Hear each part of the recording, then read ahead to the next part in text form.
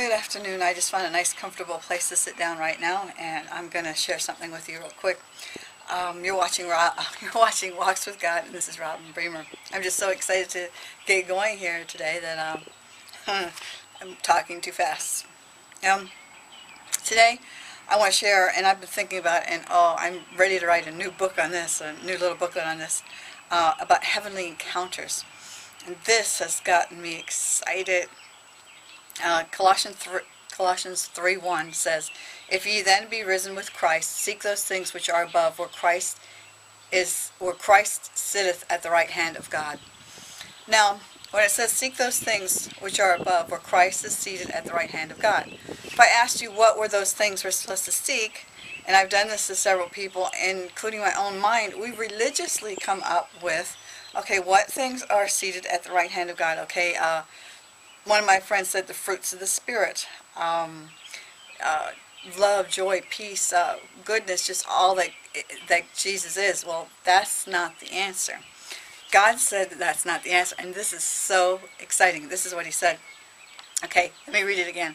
If ye then be risen with Christ, seek those things which are above, where Christ is seated at the on the right hand of God. He said that is the holy of holies. He said that is a place, a physical place, heaven.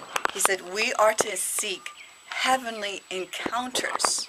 Because I was looking for scriptures uh, to have heavenly encounters.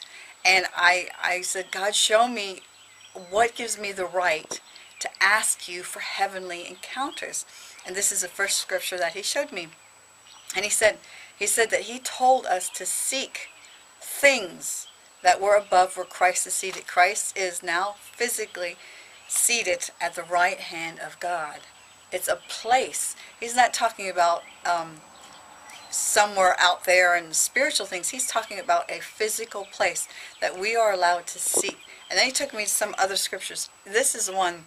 He, he told me a whole bunch of people in the Old Testament and the New Testament that got throne room experiences. And that's what I've been asking him. I'm asking him, God, show me what happens in the physical and in the spiritual when I praise and worship and when I praise and worship as a, the whole congregation, all of us. I want to know, and I'm asking him for that kind of heavenly encounter. And so he started giving me these scriptures. Um, let's see, um, 2 Corinthians 12, uh, 2, uh, Paul, he was caught up into the third heaven, and he heard things, uh, words that were unspeakable. He talked about, uh, so that's one person that uh, was taken up into heaven. Then there's uh, John, who had was taken up into heaven and had heavenly encounters. And um, there's Stephen, when he was being stoned, he saw the heavens open up. And then there is um, um, who was the other one? Um, Paul. Okay, and behold, I saw the, oh, and then there was Jesus. When Jesus was baptized, the heavens, he saw the heavens open up. Okay, now that was New Testament.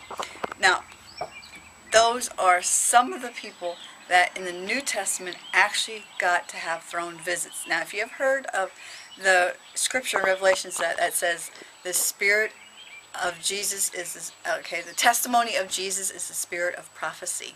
That means that the testimony of the word, the testimony of whatever Jesus did before, means that it's a prophecy. If you hear it, it builds your faith, and it's your prophecy to receive the same thing.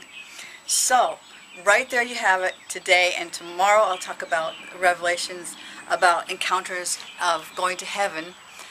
Um, in part two, in this scripture, in, in the study, little study, uh, in the Old Testament. But my name is Robin Bremer. You're watching Walks from God, and it is okay to seek heavenly encounters and to expect them.